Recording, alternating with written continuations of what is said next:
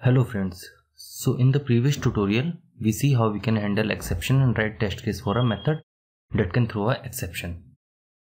So in this video, we see some more annotations. So let me just delete these methods. So now we have only two method and demo class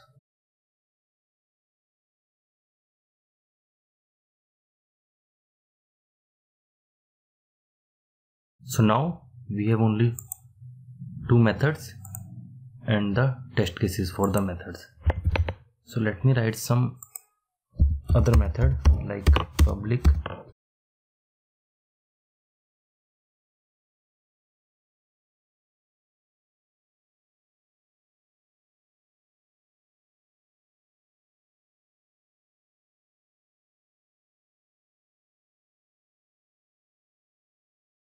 So I write a simple method in which we just print a SOP statement before. So I use the annotation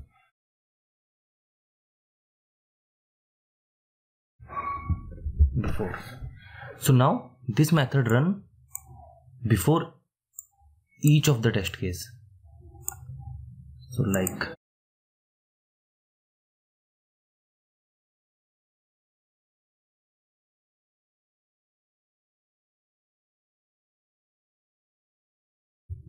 so when I run this output is before first and before second.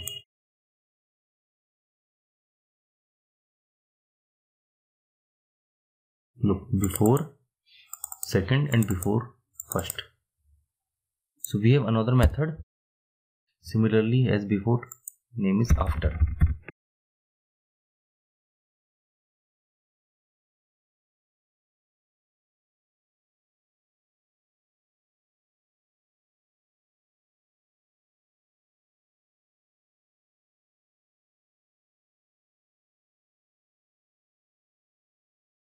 so let me just run this.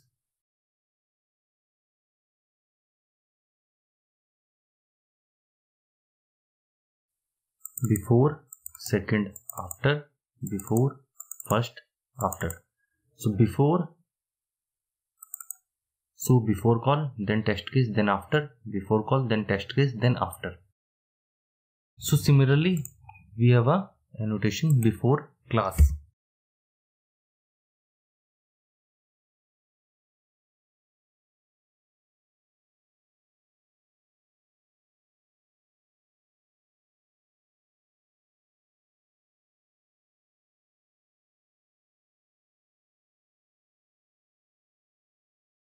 so this before class and after class only call once but they are our static method. So just change this to static.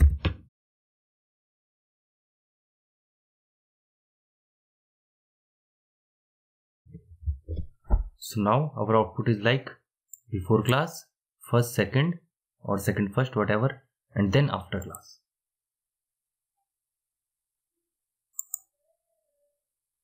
And look before class and then second first and after class. So in the before class and after class we can initialize our object. So like i just copy this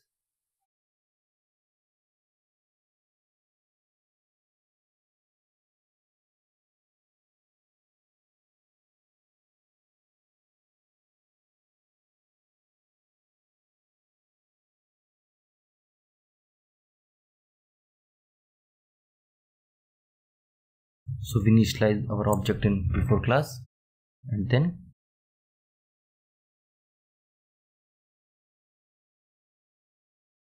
we can again assign it to. So this way we can run our test cases.